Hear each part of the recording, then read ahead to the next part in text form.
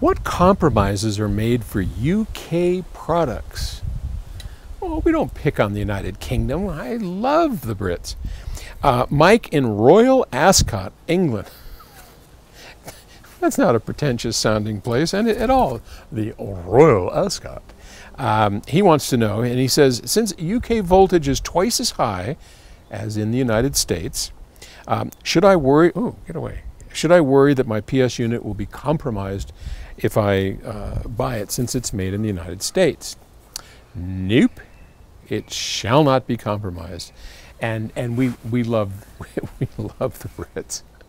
So, you know, what are the differences between a unit that's made for 230 volts, 250 volts, or 100 volts, or 120 volts in the United States? And the answer is simply the way the transformer is wired, okay? So when we buy, uh, we, we, buy all the same transformers, okay? Is, is like in, in our products is only one kind of transformer. It's the same one in the US, it's the same one in Britain. And what we do is we wire them differently. So on the input of a transformer, this is where the AC comes in from the line, you have a coil of wire. Well, actually two coils of wire.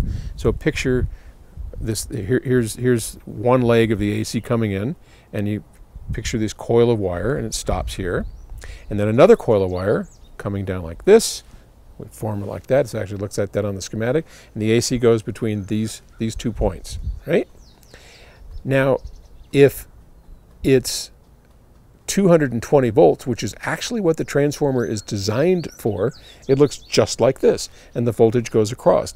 When we want to change it to be 120 volts, we take the two, I can't move that, we take the two windings and we put them in parallel. Okay, here or here. So with half the voltage, the windings are in parallel. With twice, they're in series.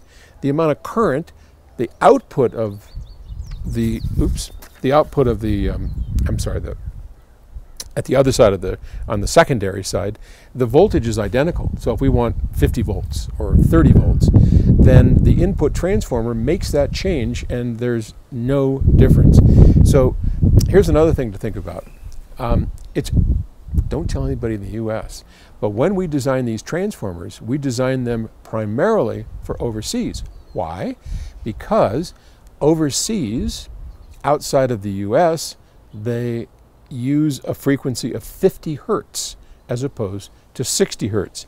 Now we have 60 hertz over here because Nikola Tesla, who was our resident AC genius, was very superstitious. Everything had to be in threes. There's a long story about it, you can look it up. But um, he couldn't handle the, you know, 50 hertz. It had to be a multiple of three. And that's how we wound up with 60 hertz. So overseas, 50 hertz is the standard. In order for a transformer to work at 50 hertz, it has to be 20% or so larger. And so we design all of our transformers for that larger uh, size and the lower frequency of 50 hertz, which then if you're using it at 60 hertz, you're getting kind of a free ride. So it's actually the opposite.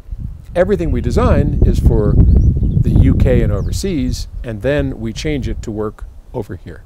So hope that answers your question. And uh, you got a great distributor over there, Kevin. Kevin is, uh, boy, Kevin's a good friend of mine. Kevin, um, uh, he, he, uh, he, he knows his stuff. Good guy. Uh, signature sounds.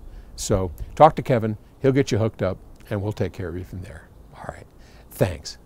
And tomorrow, I don't know if Chris is coming on or not. Anyway, I'll talk to you later. Okay. Bye.